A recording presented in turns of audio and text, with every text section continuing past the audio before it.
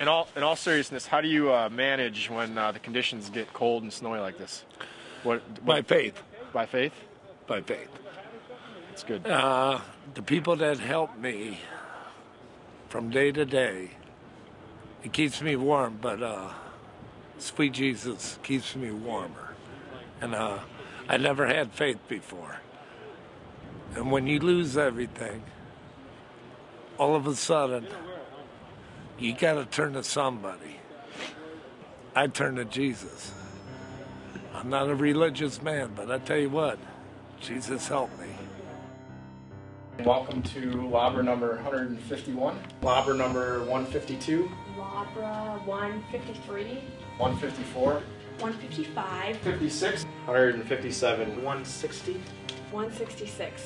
Welcome to Labre number 174, 174 straight weeks of sharing food, but more importantly, sharing friendship and sharing faith with our sisters and brothers on the streets of Akron. We go into downtown Akron. consecutive weeks, every Monday night out here, rain or shine, snow, whatever. and we take um, several different stops where we know uh, there's people in need, homeless people. We make sandwiches and food, and we share them in conversation with people we've met over the past 158 weeks on the streets of Akron. And looking at sandwiches, talk to them, make friends, build relationships. We look at Labre as a four hour prayer, and so praying gets us closer to God, gets us centered on, on what our true purpose is, and yeah, part of that is, you know, passing out sandwiches, hot chocolate. But the other part is, is fellowship and relationships and everything, and uh, making people realize that there is hope, though there may not seem like it. What do you think you give to the kids? All I give the kids, I just know what they give to me. And what is it that they give to you? Hope, Hope And prayer. and prayer. And always get that. On November 6, 2006, a group of law students went to the streets of Akron uh, to start the Labre Project. That was the first night. We're the first two they met. They've been a blessing to us, bringing food on Monday nights. among other things. Where uh, where did where did you meet them for the first time? Right, here. on the steps. Uh, It was a Friday night. It was cold. We were starving, and they brought Whopper Juniors and Diet Cokes. We want y'all to know we appreciate y'all and we love y'all. And we look forward to seeing y'all every Monday when y'all show up, all of y'all. We wish all of y'all could come. Hopefully all of y'all might come someday. We are on our way to Akron right now um, to our first couple of locations. And the first location is usually the house of Laura and Shakur. And they're our friends who used to live on the streets, but now they have their own house and they have their two daughters. Shahad had her birthday, and we bought her a cookie cake. We brought them book bags full of supplies. We had like a little party in their front yard. It was fun. My favorite stop was our first stop when we were talking to all the kids. I. I just really loved all their personalities, and I thought that was fun.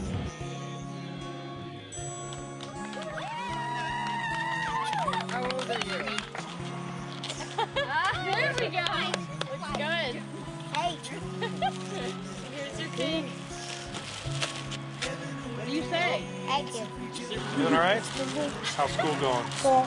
There's an A in reading, A in mathematics, um, A in language arts, B in social studies, B in science, A in spelling, A in handwriting, A in art, A in music, and A in what physical ed- education. Sure. Where are you going to high school? Washington High School. That's right. We're here with Sean, Scott, Jake, and Jessica on, on uh, Monday night, number 154. How many uh, how many weeks have we been stopping by to visit with, with you guys? Um, About four weeks. Four weeks. Okay. it's been about maybe three for me. Three weeks for you. Yes. couple weeks. What do you like best about when the kids pull up? They're nice, actually. They're nice and guess food. Right, it's respectful. Yeah, I mean, it's the best y'all can do. Meet a new person. You meet new people every every time you come here. It isn't just about the food, nothing like that. But I get to meet new people, new students almost every week, and I've had real good friends from from it. Can you tell us a little bit about the uh, about the kids, about uh, what it means to you to have have them? Well, come what out? it what it what it means to me is that they care very much about me. You know what I'm saying? And that they are people that actually, I mean, they care about us. They're taking their time out to see about us. And what does and what does that mean to you to have these It, kids it, come? it, it, it, it, it makes me feel great because you know why? I don't have nobody else to come see about me. And if it wasn't for Walsh Jesuit and places like that, uh, my life would be a lot worse. But they give us some hope in life, and they're they're there for us every week, no matter what. They come out here if it's raining or shining, and God bless them all. I think I just really like the fact that the people, even if you were just talking to them, they still appreciated it. And just one man, I think when you're at St. Bernard's, um, we didn't have water or something, and he said, that's okay, because we appreciate what you guys do here. So that really stuck with me. I'm a drug addict and an alcoholic, and I'm homeless. We all sleep right here at the church. You see uh, my clothes, my blanket. Yeah, tell me it's about your- hard out here, man. Nobody will hire me anymore. Not for the work I do. Nobody will. I used to have everything in my life. I made many accomplishments when I was a young man and I was married and I had a wonderful wife and family and everything else.